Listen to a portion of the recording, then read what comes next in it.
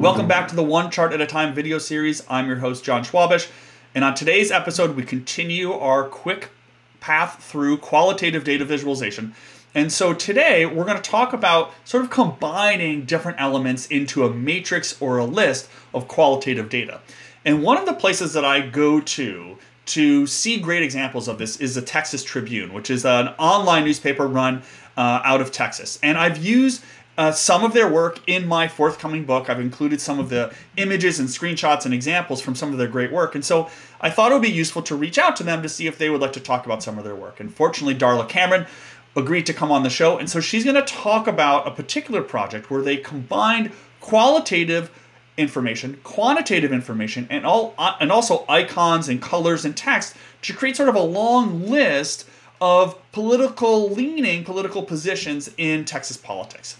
So Darla, this one's over to you. Hi, I'm Darla Cameron, the data visuals editor of the Texas Tribune. Presenting data in a matrix or a list is a great way to allow direct comparison between two things or organize tabular data by category.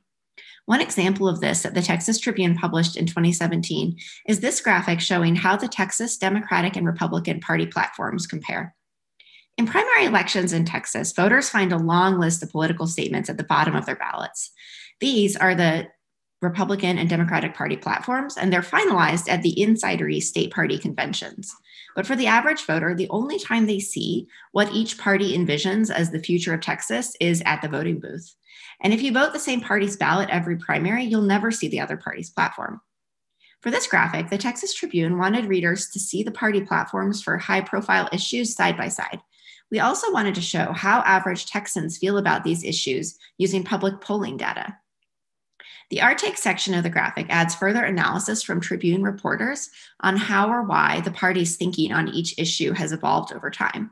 And we added icons to each section for visual cues. Charts like this require a very tight edit. They can easily get unwieldy and long. Editing the words in a graphic is just as important as editing the visualization. It's also key to focus on design for small screens.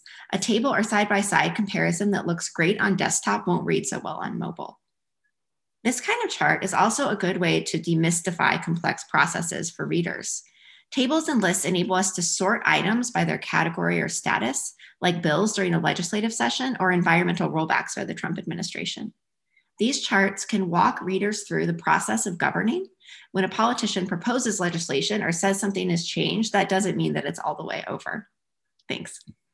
And thanks, Darla, for that great summary. I really love that project from the Texas Tribune. I've actually included a screenshot of it in my forthcoming book, so I hope you'll check that out. And I hope you will go check out the Texas Tribune and check out all of the great work that they do uh, down in the state of Texas.